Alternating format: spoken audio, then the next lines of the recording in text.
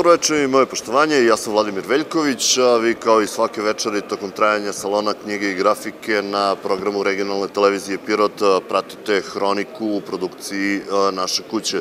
Dakle, i danas zaista interesantan program u okviru salona knjige i grafike. Danas smo imali zadovoljstvo da ugostimo i jednog od zaista najznačajnijih savremenih srpskih pisaca, Vladimira Pištala, čoveka koji je ujedno i upravnik Narodne biblioteke Srbije, ali koji je zaista postao prepoznatljiv širom sveta kao jedan od najznačajnijih savremenih autora.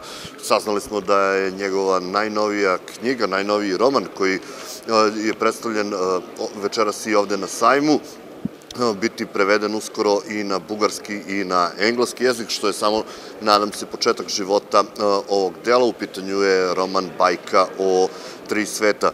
Sinoć smo mogli da ugostimo u Pirotu i Dejana Stiljkovića, koji se predstavio sa svojim najnovijim delom Tesla pesnik nauke i o tome ćete moći da vidite priču večeras u našoj hronici, a naravno moći ćete da saznate i ko su najsrećniji današnji dobitnici na nagradnoj igri koji organizuje Dom kulture tradicionalno, ko su dobitnici nagradnih vouchera.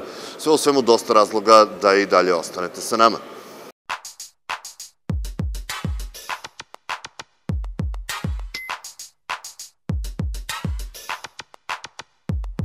Dakle, kao što ste mogli da čujete u generalnoj najavi, večeras počinjemo priču sa promocijom koja je održana sinoć. U pitanju je promocija dela Tesla pesnik, nau, pesnik nauke autora Dejana Stojiljkovića, jedno zaista interesantno delo koji se bavi, bavi likom i delom jednog od najznačajnijih srpskih, ali i svetskih naučnika, ali na jedan zaista interesantan način, pa pogledajte kako je sve to izgledalo sinoć. Dobrodošli na još jedno knježno veče u okviru 25. salona knjige i grafike. Kao što pretpostavljam i sami znate, večeras promocija izdanja izdavačke kuće Medivest. U pitanju je, čini mi se, zaista dobro poznati autor pirotskoj publici, Dejan Stojiljković, s obzirom da je Dejan čest gost Pirota i slobodno mogu da kažem prijatelj našeg grada, s obzirom da učestvuje i kao član žirija na konkursu za kratku priču koju raspisuje Dom kulture svake godine u okviru salona knjige i grafike. Ovoga puta organizatori su se odlučili da se predstavi Dejanovo aktuelno delo, ne mogu da kažem poslednje. Dakle, to je ovo izdanje, Tesla, pesnik nauke, zove se ova knjiga. U pitanju je knjiga koja se pojavila pre par godina, čini mi se, 2021. prvi put da. u izdanju Nedeljnika, ali je ovo zaista mnogo, mnogo luksuznije i bolje, kako se već to kaže, bibliografsko izdanje uh, ovog uh, dela i u pitanju je priča, zbirka zapravo uh, interesantnih priča o Nikoli Tesli. Ljudi koji poznaju Dejana Stojiljkovića znaju da se on veoma često i pre svega bavi određenim istorijskim ličnostima, što iz umetnosti, što iz istorije. Pa na početku zaista moram pre svega da te pitam, zaista Teslom su se bavili mnogi ljudi, ali otkud i tvoje interesovanje za Nikolu Tesla? Pa Nikola Tesla je meni interesantan, mislim, kome nije Nikola Tesla interesantan, naravno. realno. E, učimo o njemu još od malih nogu i naravno postoji taj veo misterije oko njega, šta je on sve radio, im razne teorije zavere, te Teslino tajno oružje, te Tesla je komunicirao s zemaljcima, Tesla ovo, Tesla ono. Ovaj, pošto ja se rađem dugo s nedeljnikom, mene je zvao ovaj, Veljko Lalić i urednik i rekao je radimo ediciju velike biografije. I to je bilo, ne znam, i Kneza Pavla, i Danila Kiša, i Dobrice Ćosića, i Ivan Andrića, i da li bi ti radio Teslu. Ja nisam mnogo bio verziran u to, rekao sam, ajde da probam. I onda sam uronio malo u te stvari i video sam da je njegov, recimo, lični život bio vrlo zanimljiv, daleko zanimljiviji nego te teorije zavere i sve mhm. to. Ja sam to podelio u deset poglavlja, koje kreću bukvalno od njegovog rođenja, kakva je bila njegova porodica, recimo, on je talenat taj za pronalaženje i, i, i za pronicanje sveta nasledio od majke koja je bila, koja je takođe po kući pravila neke izume koji su i pomagali i tako dalje, onda njegova porodica je vrlo zanimljiva bila, otac koji je bio sveštenik, Ove, I naravno kasnije ceo njegov život nije baš Tesla bio ono kako mi njega prikazujemo, što bi rekli Nišlije, ove, i kako ga vidimo. E, on je bio u mladosti vrlo onako nestašan dečko, nije bio neki baš đak. Ovaj, i, Kao ni Einstein, na primjer. Da, da, da. I njegov dolazak u, u Ameriku nije bio baš bajan, on je prvo kopao kanale za njuršku železnicu i tako dalje. Ima dosta tih detalja, onda njegov sukup s Edisonom, onda posle sa JP Morganom kad su gradili to ovaj, e, kulu koji dan danas predmet raznih spekulacija od toga čemu je služilo do toga zašto je, zašto je uništena. Ali je zanimljivo da je Tesla bio recimo pripadnik tog visokog njurškog društva, da je ovaj, smatrao recimo, to je zanimljiv podatak, da je alkohol vrlo bitan u, u, u životu, naročito viski, i mislio da će da živi više od 100 godina samo zato što, što, što, što redovno konzumira, jel te, viski, čak je, ali bio je legalista, recimo, toko prohibicije uopšte nije pio. Mm -hmm. I družio se sa glumicama, sa bogatašima, sa, ovaj, vrlo je njegov, on je, toliko detalja ima i sa raznih uglova kad se gleda, vrlo zanimljivo. Nije to samo ta nauka i pronalasci, nego jednostavno i njegov um i on kao osoba je bio vrlo, vrlo intrigantan. Um, e sada, čini mi se da ne postoji čovek koji se bavio naukom, možda Leonardo da Vinci, o kome postoji toliko mitova i teorija zavere koje možda su ti... Možda Einstein, da, ali ne baš. Ne, ne u tom, čini mi se da Leonardo da Vinci i Tesla da, i Tesla, su ljudi da. Koji ono prati te silne teorije zavere koje stoje oko uh, svega toga. Koliko je bilo teško, zaista znam da uh, koliko predano prelaziš istraživanju kada pišeš o nekim stvarima koje imaju istorijsku potku, koliko je bilo teško razlučiti stvarnost od mita? Pa najteže je bilo u stvari sklopiti e, jedan rukopis koji je namenjen širokoj publici, znači kao da pišem za politikin zabavnik. Mm -hmm. I onda nisam smeo da opterećujem mnogo detaljima, da ja sad sad objašnjavam kako funkcioniše Teslin motor ili neki njegovi principi naučni, to ni meni ni baš nije najjasnije, kamoli sad nekom ko će da uzme ovu knjigu i da se upozna sa onim što je suštinski bitno za Teslu i njegovo nasledđe i sve to.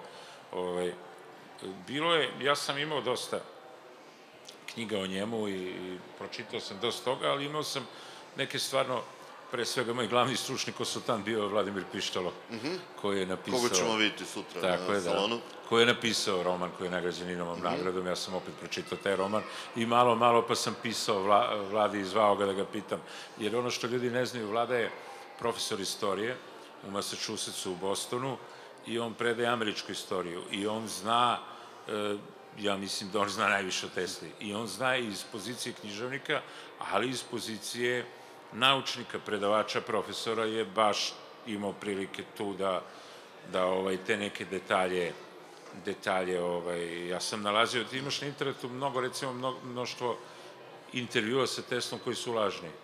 Mnogo nekih naučnih radova kao eseja koje je navodno pisao Tesla, a nije pisao Tesla. Mnogo nekih podataka koji uopšte nisu tačni. Ja čim bi ne išao na to, ja bi zvao Vladu, ga pitam, izvini, ali kao recimo to sa viskijem, mm -hmm. jer ja sam znao da je Tesla bio onako kao monah neki. Asketa. Asketa, tako ga mi doživljavamo, nije baš bilo tako. Mm -hmm. Nije baš bilo tako, ja sam ga pitao, našao sam izjavu Teslinu da je popio dva jezera viskija, sam pozvao da ga pitam, kaže da, to je apsolutno tačno, kaže i on je smatrao da je viski voda života, inače viski na keltskom znači voda života, ali recimo smetla mu kafa. To je zanimljiv podatak.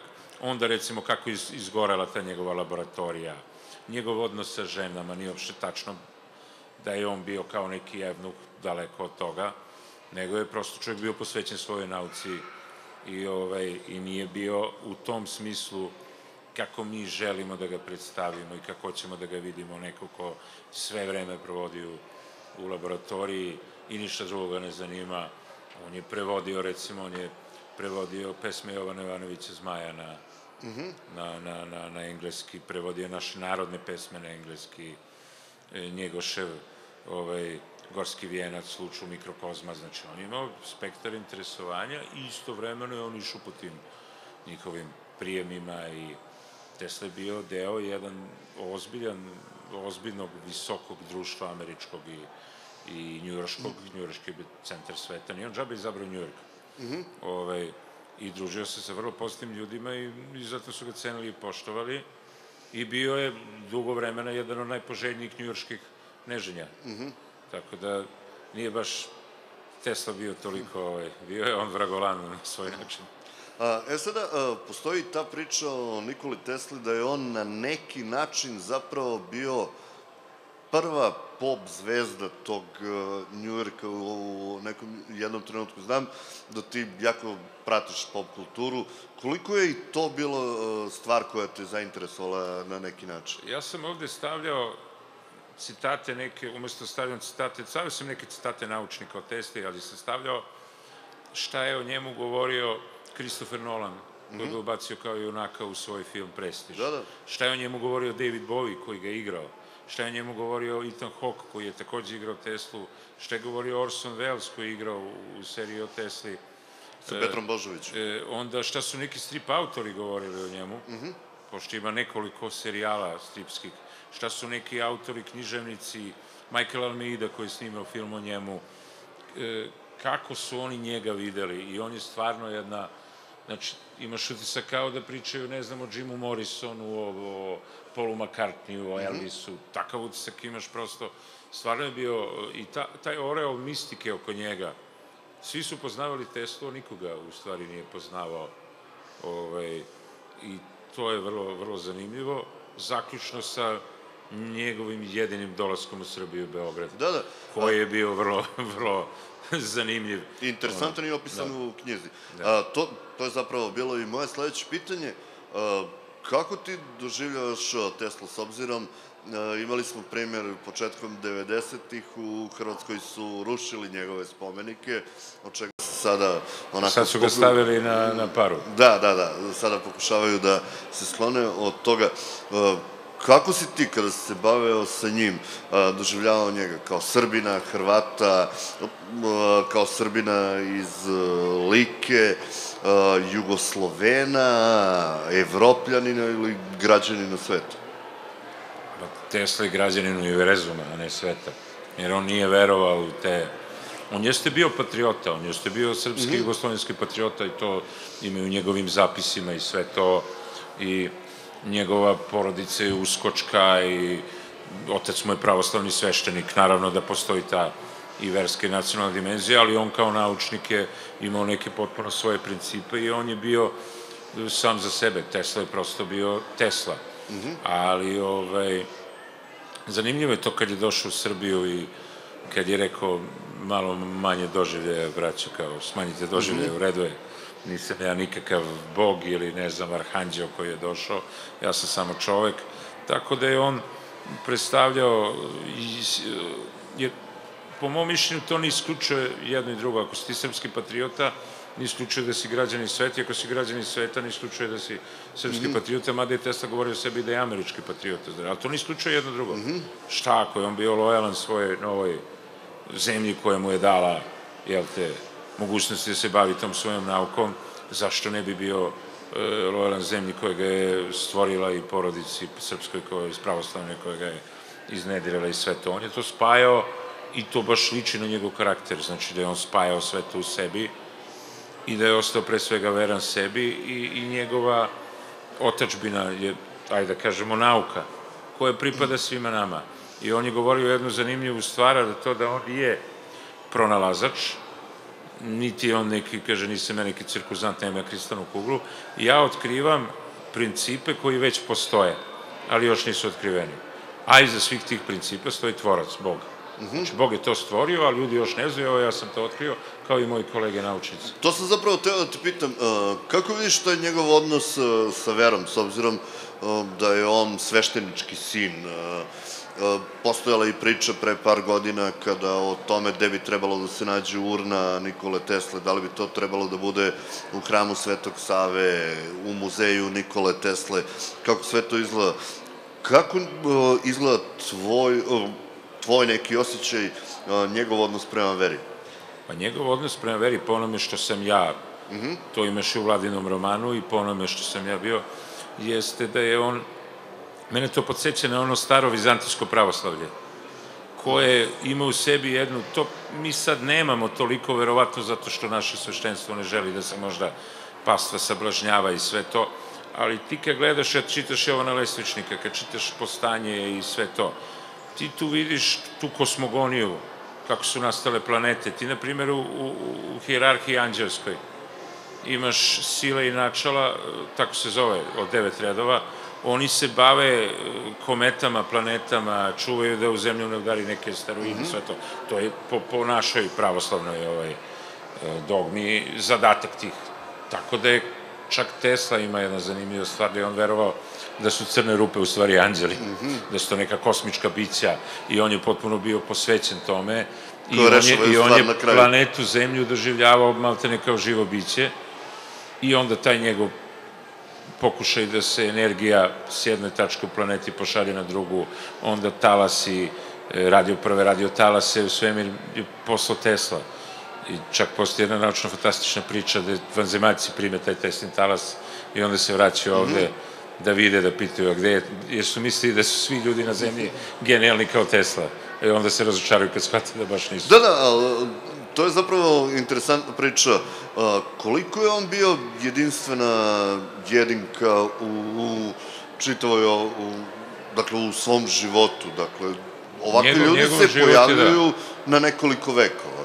To je, čini mi pa, se... Pa, pa, ovaj, jedna od njegovih biografija zove se, ovaj, e, ima u naslovu Prometej. Ovaj, e, I Prometej je po grčkoj mitologiji bio ovaj, e, čovek koji je se žrtvovao sebe da donese vatru i svetlost čovečanstvu. Mm -hmm. I Tesla je upravo bio to. Njegov život je bio podvig. U stvari ti kad pogledaš e, ove živote velikih umetnika i Leonarda i Tesla i Branka Miljkovića i Andrića i ne znam i Einsteina i Oppenheimera, e, oni su, to je jedan ceo njihov život je podvig. I njegov ceo život je bio podvig i on je do kraja u tom istrajavao i to što je on dao čovečanstvu, mislim, i dan danas, pa mi ne bi imali mobilne telefone da nije bilo Tesla. Mm -hmm. Ne bi imali radio da nije bilo Tesla, ne bi imali GPRS, ne bi imali... E, evo ovo što nas osvetljava, da. to nam je Tesla dao, jer njegova sijalica je u stvari bila ono što kažu naprednije od Edisonove, njegov transfer struje je bio ispred svog vremena.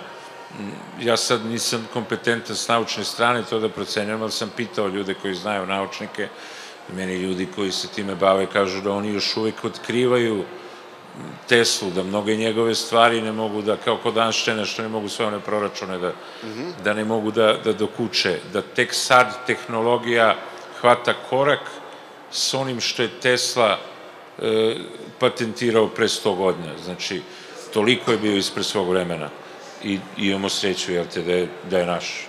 Da, da možemo se ponosimo time. A, ne sada, s obzirom da je on na neki način maltene u Srbiji nekako, mogu da kažem, kanonizovan. On je doveden do toga da apsolutno nema mana. Ti si malo čas spomenuo Oppenheimera, to je ponovo preispitivanje svega toga što su ti neki veliki umovi uh, radili. Uh, da li je to sve samo crno-belo, a on je očigledno to belo koje apsolutno nema mana i...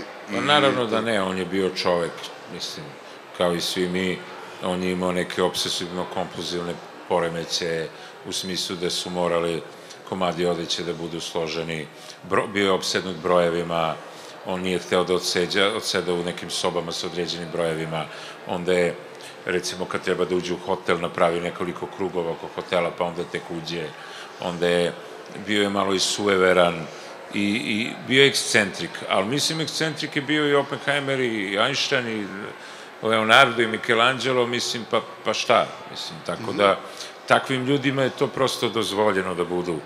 I ovaj, Tesla kao takav i u tom društvu je prihvatano to nekako kao nešto što je pa dobro, da, okej, okay, takav čovek, ako su glumci ekscentrici, mm -hmm. ako ne znam, Humphrey Bogart u to vreme može da ode u, u, neki bar u Njujorku i da sa, sa sobom povede nekog punjenog pandu i da pije s njim, što ne može sad Tesla da poređa, ne znam, šibice ili, ili ove cipele onako kako on misli po nekom, nekom njegovom geometrijskom tripu kako to treba da se uradi. I to što je imao taj jedan odnos prema ženama vrlo specifičan e, i to što je, recimo, e, ajde da kažemo, jedno ozbiljno ispijenje alkohola proglašavao za naučni eksperiment.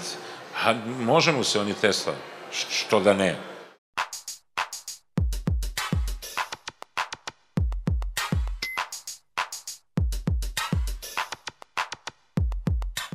Dakle, kao što ste navikli, Dom kulture svakog dana organizuje nagradnu igru za posetioce Salona knjige i grafike. Vidjet ćete ko su današnji najsrećniji dobitnici, uz naravno podsjećanje da će najvrednije nagrade biti izvučene poslednjeg dana Salona, 25. Salona knjige i grafike i to će biti ljudi koji će dobiti i najvrednije nagrade u vidu knjiga. I večeras na 25. salonu knjige i grafike izvlačimo one dnevne, odnosno večernje nagrade. U pitanju su šest vouchera od po 1000 dinara. Darodavac je takođe kao i sinoć e, Tigar Tires. Prvi voucher od 1000 dinara dobija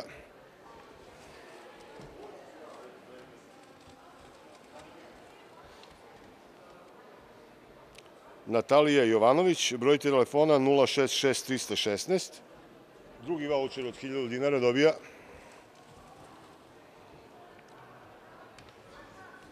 Magdalena Ilić, broj telefona 062-969-00. Još jedan voucher od 1000 dinara koji poklanja Tigar Tires, a dobitnik je Gavrilo Kostić, broj telefona 062-1905. I treći voucher od 1000 dinara za kupovinu knjige na našem salonu knjige i grafike, darodavac Tigar Tires, a dobija Pavle Nikolić, broj telefona 062 346 Naredni voucher od 1000 dinara za kupovinu knjiga na našem salonu knjige i grafike dobija Anđela Živković, broj telefona 061 27 ili 27308 i poslednji voucher za večeras poklon Tigar Tigersa dobija Miloš Ristić, broj telefona 063-705. Pozivamo srećne dobitnike da dođu ovde na, u medija centru na salonu knjige i grafike kako bi mogli da podignu svoje vouchere i da kupe knjige.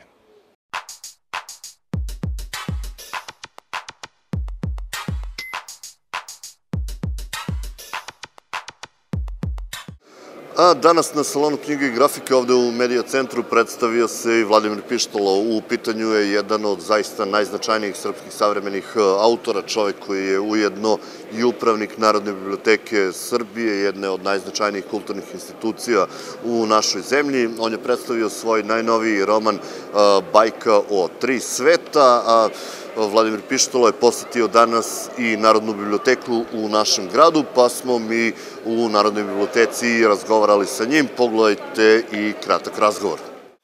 Moje poštovanje, ja sam Vladimir Veljković, vi pratite program regionalne televizije Pirota. Na moje zaista veliko zadovoljstvo, naš gost, jedan od najznačajnijih savremenih srpskih e, pisaca, Vladimir Pištolo, uzgred i e, upravnik Narodne biblioteke Srbije. Pričat ćemo malo i o tome, ali zaista pre svega hvala vam e, za gostovanje u našem programu.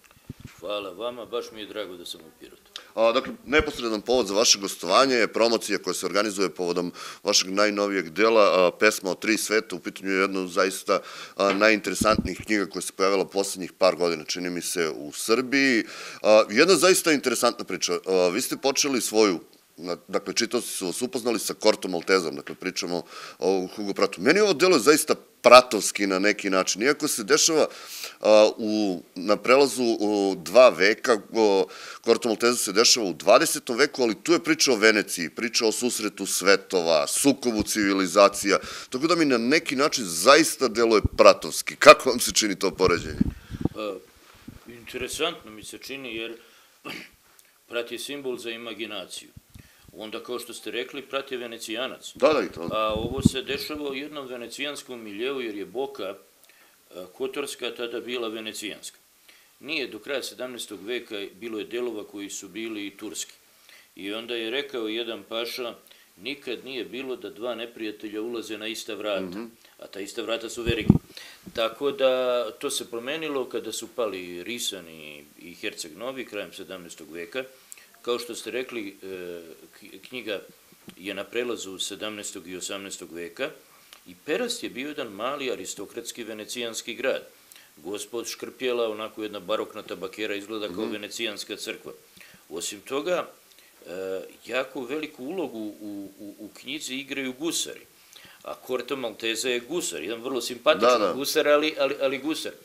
I kod Corto Malteza je ta ideja, on ima svoj taj brod i on je, ne znam, danas je u Veneciji, a posle nekog vremena može da bude u Brazilu ili može da bude u Australiji. Naravno, ne plovi se to tako da. brzo, ili, ali ta ideja da nema granica fizičkih, a te granice koje ne postoje, to su granice mašte pratove, koje stvarno nisu postojale i on je i sam živeo jedan pustolovan život i jedan život koji se dešavao na čitavom svetu. On stvarno je živeo i u Argentini, kao mlad čovek je živeo u Etiopiji i ovaj, ta ideja sve, sve povezanosti sveta, pre svega u mašti, a onda delimično i stvarno postoji i u jednoj i u drugoj knjizi i to je ono što su kritičari prepoznali kao sumatraističku a, liniju u toj knjizi. Jer u Sumatri kod e, Miloša Crnjanskog isto imate tu ideju da su sve stvari povezane. To je njemu palo na pamet, to je bio avangardni, avangardna ideja krajem a, a, početkom 20. godina posle e, Prvog svetskog rata i to ranije nije bilo moguće, ovo mi je važno da kažem. Znate, veći deo sve, svetske istorije, jedan običan čovjek nije išao dalje od 10 km oko, svoga, oko svoje kuće. Možda je mogu da ode na neki oko vašar, a i to ne mora da bude, otiće brat ili otiće Da, da. neko i tako. Većina ljudi su živjeli u jednom zatvorenom svetu. I onda prvi put svet se povezuje velikim delom zahvaljujući gusarima u službi imperije. Kao što su Francis Drake ili Barbarossa ili Mhm. Da, da, da. kao Vicko Bujović, isto bio Da, gusar u službi, a i admiral. Mhm. Te stvari se nisu odvajale. I admiral i gusar u službi e, Venecije, što, što, što vi kažete. I oni su povezali svet i taj svet postaje povezan tad u 17. i 18. veku, jer su evropljani otišli do Japana, otišli su do Indije, otišli su do Kine, otišli su do Brazila i manje više ta ideja, nije to običan čovek znao, ali pomorci jesu znali ta povezanost sveta, da je svet jedno mesto da dolazi, ne znam, Nešpola ili Buganvilija u boku, da je donesena iz, iz, iz Južne Amerike. Ja kažem, mi danas živimo potpuno normalno tu trosvetnost. Tri sveta su Amerika, Afrika i, i, i- Evropa. I da je ta više svetnost danas potpuno normalizovana, a pre ovoga momenta nije bila moguća, nego se živeo taj lokalni život. Pa ako me pitate kao kako živite trosvetnost, evo mi smo sad u biblioteci, ovo su sve svetovi. Sve ove knjige su svetovi i one dolaze iz svetova. Ali sam ja mislio nešto mnogo jednostavnije. Ja ne znam porodicu, ti ljudi koji se družili sa mojom mamom i tatom, čije neko od dece nije negde. Koje nije negde u ino, ino, Da. ino, inostranstvu. Znači, ta neka majka koja možda ne zna mnogo o nekoj Kaliforniji, ali zna da joj je čerka tamo. Da, da, da. I to uopšte i ova, ovi klinci sada koji razmišljaju da li će ići u Norvešku ili će ići, i, ići u Irsku. To je sve taj, taj, ta, ta, ta više svetnost i jedna vrsta kulturnog izazova. Da znaš da ljudi se i ponašaju i jedu i, i, i misle drugačije, sve je to ta sumatraistička ideja i u nju je upisana avantura, a to je što vi nazivate tom pratovskom Da, da. idejom. E sad, ali odlučili ste se da glavna junakinja bude e, žena, dakle, praktično Ozdana Božana, već e, o- ovo su njene avanture. Zbog čega ste se odlučili da tom glavna junakinja bude ipak ženskog roda? Kurta Malteze su stalno negde Da, neke da, žene tamo jako žena. važne, ali nisu glavne. On je, Da, da. ovaj, on je tu e, najvažniji ovde žena zato što ona je, ona je aristokratkinja koja e, dolazi istovremeno iz dva grada, iz Perasta i Kotora. Mhm. To je vrlo blizu, to je neka dva sata hoda, ako se sećam, ne više od toga. I mislim da isto dva sata veslanja u barci. E, a, to je jedan kulturni svet, mada je Kotor stariji. Njegove tradicije sežu dublje. Perast, postaje nezavisna, nezavisno crkveno, nezavisan, to je u to vreme bilo najvažnije, negde u 17. veku, ne pre toga, dok je Kotor stvarno ovaj, veoma, veoma stari grad. I ona e, e, iz tog sveta biva oteta, otmu, otmu je gusari i onda ode u Severnu Afriku. To se mnogo dešavalo. To danas služi, zvuči kao jedan veoma neobičan zaplet, u ono vreme uopšte nije bio e, neobičan, negde, pravo da vam kažem, e, ne, ne mogu da setim, 1625. je bio veliki napad gusara i uzeli su 300 ljudi iz, iz, iz Perasta. E, muškarci su bili na plovidbi, bio je juni, straže nisu bile jake, uglavnom su bile žene, deca i stari ljudi, koji su onda odved, odvedeni u, u Severnu Afriku za otkup. E, ta otmica ljudi, to je kao u Somaliji pre nekog vremena, otmica ljudi zbog otkupa je bila jedna od najnormalnijih stvari, to se stalno dešavalo. Tako ona odlazi u taj svet severnoafrički i, upozna ga protiv svoje volje, ali sa velikim interesovanjem. Onda ona posle toga odlazi u uh, Ameriku, Ameriku. uh, u Salem, gde ona priča o vešticama, mislim da ću večeras da pričam o tome na književnoj večeri malo više nego što sam do sada pričao, tu i otmu indijanci. I onda se ona vrati kao stara žena, ali to je priča o dvostrukoj otmici. I ona na neki način ustanovljava da je svet pun učitelja i gospodara. I ona ima tu situaciju da ona ne posjeduje sebe. Kad pomislite, rob ne samo da ne posjeduje svoje vreme, ne posjeduje svoju volju, nego ti neko govori idi tamo radi ovo ili ono, nego doslovno rob ne posjeduje svoje noge, ne posjeduje svoje ramena, ne posjeduje svoje ruke, ne posjeduje svoju glavu, ne posjeduje svoje oči, nego ih posjeduje gospodar. Da, da, da. I ona je u tom svetu koja je prepuna gospodara, ja mislim da je i današnji svet prepun gospodara i učitelja, ljudi koji ti govore kako da, da živiš, samo što je onda to bilo očigledno. I ovaj, ja sam mislio da je ženska, ženska pozicija, to je ono što je Heidegger govorio bačenost u život, ili ono što je Dis govorio da je bez imalo znanja i bez svoje volje došao u taj, u, ta- u taj život. Da je ta pozicija ranjivosti više podvučena kada se radi o ženi.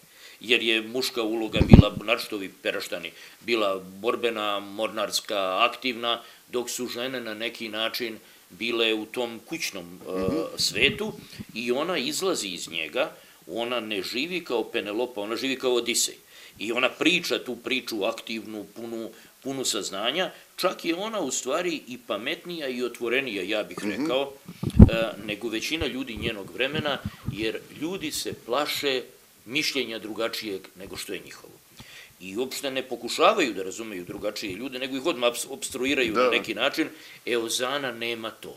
Ona iz pozicije velike ranjivosti dolazi do pozicije zaista toga sumatroističkog razumevanja drugih ljudi. Ona se ne plaši da, da, da razume, ona uživa u tome i to mi je ta ženska pozicija a, bila prednost u pripovedanju. Od te inicijalne ranjivosti i nekontrolisanje stva- stvari do jednog velikog uspeha njenog da shvati sve te svetove. E, koliko vam je značilo na neki način i to, o, pretpostavljam da ljudi znaju da ste i boravili u Americi, bili profesor o, istorije na o, univerzitetu, prilikom, pretpostavljam da ste radili oz, ozbiljno i obimno istraživanje kada ste pisali čitavu ovu knjigu. Koliko je trebala priprema zapravo za ovu knjigu kada je u pitanju to neko istraživanje? Nenad me podsjeća da je ideja za ovu knjigu da sam mu ja rekao negde 2009. Ali samo osnovne stvari. A ovo tri godine je trajalo samo pisanje sa istraživanjem. Istraživanje je bilo i ranije, ali tri godine je trajalo svakodnevno pisanje. Ja sam e, doktorirao američku istoriju na univerzitetu u Novom Hempširu. Katedra tamo u univerzitetu na Novom Hempširu u Duramu se smatrala jednim od najboljih za kolonijalnu istoriju. Tako da sam ja prilično prvo pošteno govoreći ljudi mnogo ne znaju ni o Boki u vreme Venecije, u Da, pa 17. da, i naravno. 18. veku. Prvo je taj svet, koji je naš svet, trebalo rekonstruisati. Ali ja sam dosta znao, ne svaki detalj, to uvek mora da se uradi. Ja sam osnovnu priču o kolonijalnoj istoriji znao. Imate borbu dve uh, sile tamo, nove francuske i nove engleske. Nova engleska je uslovno rečeno Boston i skoro sve do Njujorka, a ovaj, nova francuska je Montreal, Quebec i tako. I ovaj, tu su, kad bi god Francuska i Engleska išle u rat u Evropi, one bi Francuska, Nova Francuska i Nova Da, da, Engleska morale da ratuju. išle, morala da ratuju tamo. Nova Engleska je imala više ljudi, e, Nova Francuska je imala više indijanaca. Bili su bolji diplomati, znali su da se dogovore sa indijancima i onda se više indijanskih plemena tuklo na njihovoj strani. I to je taj, a, onda, u- to je vreme kada a, su katoličanstvo i, i protestantizam, naime puritanizam, su se smatrali zaista ozbiljno drugačijim re- religijama. Danas u toj istoj Novoj Engleskoj čovek koji je protestant, a hoće da se pomoli, možda uđe i u katoličku crkvu, neće, nikom neće ovaj, Da, da. praviti probleme. U ono vreme, Amerika Severna je formirana kao antikatolički projekat. Da, da. To danas uopšte ne izgleda tako. U ono vreme su to bile ozbiljne religijske a, Da, da, da. razlike.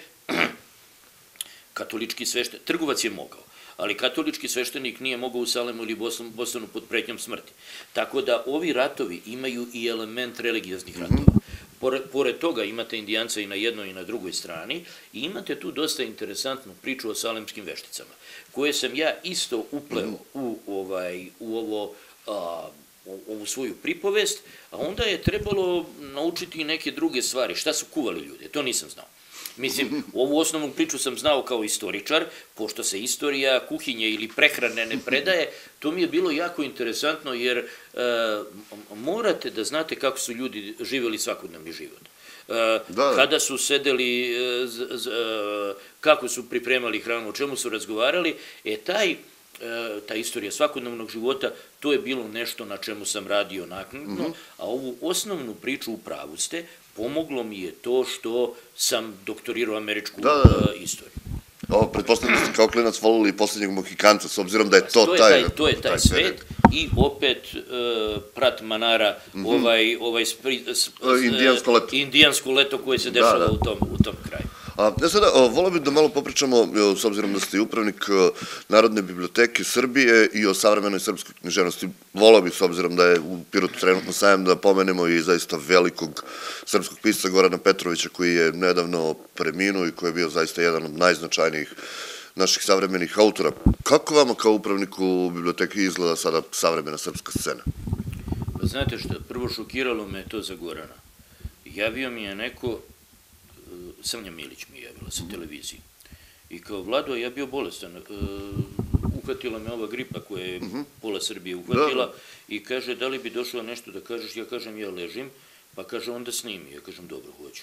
I onda sam tako razmišljao, znam da sam bio jako, jako šokiran i potresen kao svi ljudi, e, puno ljudi, e, gledao sam komentare, zaista se srpska književna e, scena sa, i obični ljudi, i čitaoci, sa mnogo topline i tuge oprostila od Gorana. Davno nisam video iskrenije e, poruke koje su ljudi pisali povodom, povodom toga. I, i, i- dan danas čovek ima tu neku vrstu poricanja, znate, Da. tih stvari, i dan danas sam nekako šokiran kad Pa i srpska na- književna scena se i deli kao i celo društvo, a ovde je bilo, čini mi se, potpuno jedinstveno. E, to je, to je ono što me, što me impresioniralo. Tako da, ovaj, Goran je inače, kad pom- pitate za biblioteku, on je dobio našu nagradu Vladan Desnica, koju književnici daju književci, književnicima.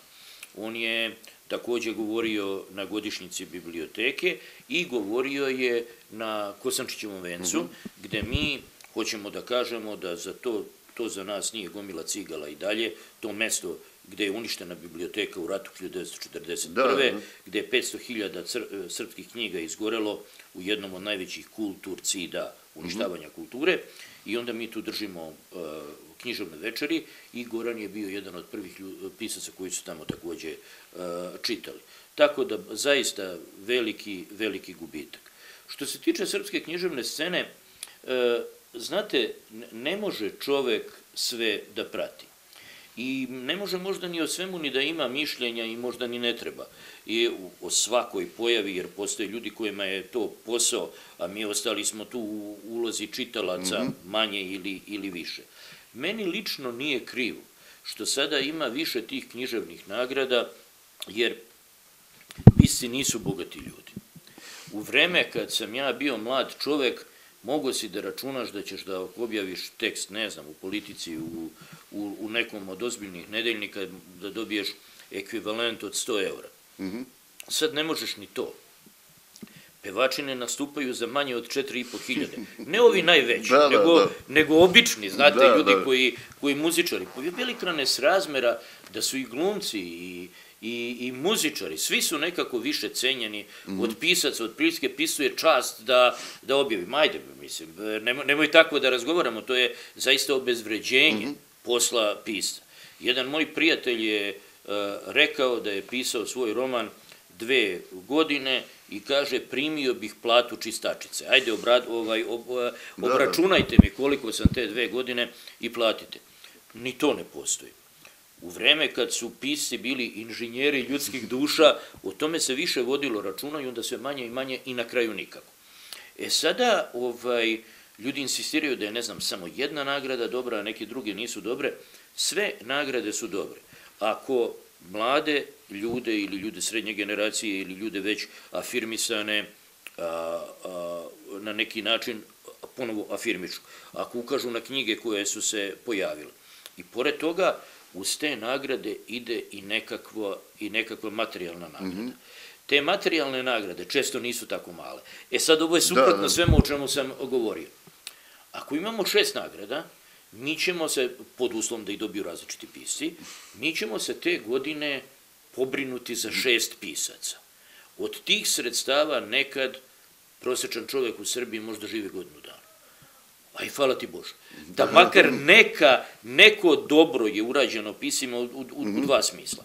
Da se uka, ukazuje pažnja, da se upale reflektori za stvari koje su stvarno vredne a, i, da, ovaj, i da konačno pisci budu i od najmlađih do, do a, afirmisanih da, da dobiju i neku materijalnu sada kada pričamo o pisanju, o novinarima je veštačka inteligencija već krenula da krade posao. Dakle, određene članke ljudi pišu uz pomoć veštačke inteligencije. Može li se u budućnosti desiti da neko kaže hoću ljubavni roman, da se oni rastanu, pa da se mire, pa da i da se sve to kroz neki program izbaci. Kako vam izgleda? Meni je izgledalo, ovo vas jedna od najzastrašujućih stvari koje sam čitao u, ne znam, proteklih godinu i po dana, to je bio intervju sa veštačkom inteligencijom koju je radio glavni urednik New York Times. I to je zaista potpuno neverovatno. Znate šta, to nastavlja, to nastavlja da se razvija na način koji ne možemo predvideti. Znači, sve što vam ja mogu odgovoriti je na, o nivou, govorio bih, o nivou veštačke inteligencije koji postoji sada. E, To će da bude različito potpuno za tri godine. Kamoli, kamoli e, sad. Dakle, e, Noam Chomsky je govorio da to uopšte ne treba nazivati veštačkom inteligencijom, jer to nije veštačka inteligencija, to je program za plagiranje. To je mašina za plagijerizam. da, da. Tako to je ono kao kombinovanje. E sad vodite računa da je to šta god da jeste. Da misli 13.000 puta brže nego čovjek. Tako da tu uopšte Da, da. nismo u istoj s tim što nedostaje osnovni sistem povezivanja koji postoji, koji je kreativan, koji postoji u ljudskom mozgu, a u plagijatu ne, ne, ne postoji. Sve to može sutra prekstora da se promeni. Ja sam e, nekad pravio tu male eks- eksperimente, e, toga se plaše ljudi svuda na svetu. Nismo vi i ja prvi Da, da, koji, se od, koji o tome razmišljaju. E, bili u Danskoj s nekim drugovima i vidimo neki oblak napravio neku formaciju koja uopšte nije planina, nego izgleda kao da je planina, u stvari je oblak. I ovaj, jedan moj prijatelj ukuca i kaže, kako se zove ova planina? Ovaj kaže, kako se zove zaliv, pa tako. I kaže, ispričaj mi legendu o toj planini, koju smo upravo izmislili. Tri minuta. Dobiješ legendu o toj o, planini, što je vrlo zanimljivo, impresionalno, ali što kažu južnjaci, a je glupo, jer je ovaj, toliko je to nekako predvidljivo. Toliko je to nekako recitatorski. Toliko u tome nema duše. To je kao poljubac sa robotom. Vidite, ja sam se već obradio. Možda ta za pet godina e, će uraditi, a ili da ne kažemo za 50. Da, da. Možda će to biti drugačije. Ali tu ima jedna Neke Nešto pesme su stigle na sa- Billboardovu listu. Nešto kojeg- zastrašujuće mehaničko Mhm. na nivou sa kojim se suočavamo danas. Da, da. Slažem se. A, I još za kraj samo želim da vas pitam, evo, pričali smo, počeli smo sa pesmama, pesma o tri sveta, vašim novim, a, najnovijim delom. Pre toga pisali, izdali ste jednu zaista sjajnu zbirku eseja, značenje Džokera. O, šta planirate dalje? Zbirku putopisa. Mhm. Najsličnija je ovome značenju Džokera, jer je značenje Džokera bilo, bilo je tu mojih es- eseja od 92. na Mhm. primjer. A ovde će biti mnogo putopisa koje sam ja jedno vreme pisao redovno, kad sam, ovaj, pa putujem ja i sada, ali jedna od stvari koje stvarno volim u životu je putovanje. Verovatno zbog toga i ova trosvetnost i ta Mhm. Da, da, da. povezanost i taj sumatrizam. I e, ja ću da iskoristim eseje koji su, eseje putopisa, koji su izdati na različitim mestima, a pored toga ću dodati neke koje imam u beleškama ili možda i neke koje uradim e, kasnije. I onda ja sam, kad sam pisao značenje Džokera, knjiga bila manje više gotova. I ja sam je pisao još devet meseci. Znači, ne znam, glačao sam pa gledao šta će doći prvo, šta će doći drugo, to je uvek važno. I ovde će biti tih eseja iz zadnjih, eseja putopisa, uprostite, iz zadnjih sigurno 20 godina, može da bude 25, i bit će ti, ti novi takođe. I to će biti knjiga putopisa. Hvala puno i puno sreće. Hvala vam.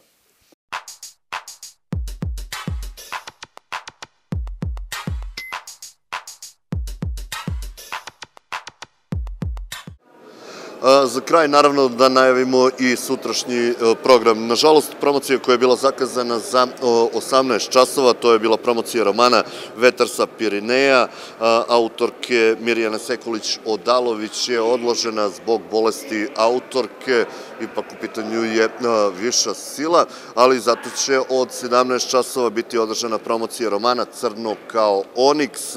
Na ovoj promociji će učestvovati a, autorka Jelena Antić, kao i njen a, recenzent a, Biljana Stanojević, koja je ujedno i urednica čitave ove knjige, tako da eto prilike da i sutra posetite salon knjige i grafike. Kažem, a, ova promocija počinje u 17 časova, a naravno tokom trajanja čitavog salona pratite i našu hroniku u okviru redovnog programa regionalne televizije Pirot.